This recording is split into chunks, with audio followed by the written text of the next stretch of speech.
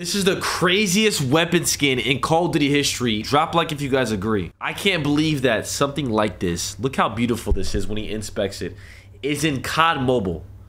COD Mobile's crushing. How do we not have this on PC? He's spinning it. Like he's in Hogwarts. Spinning it like a broom. And then he does, Goku, I don't know, this is crazy.